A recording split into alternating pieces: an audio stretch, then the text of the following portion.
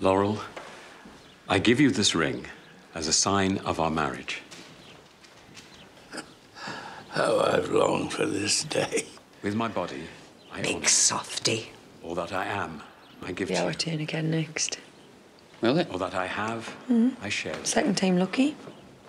Work for them. within the love of God, Father, Son, and Holy Spirit. Ashley, I, I give you this ring as sign of our marriage. With my Sorry. body, No, I honour okay. you. With all that I am, You're right, I Mum. give to you. With all that I have, I share with you. Within the love of God, Father, and the Holy Spirit. In the presence of God and before this congregation, Laurel and Ashley have given their consent and made their marriage vows to each other.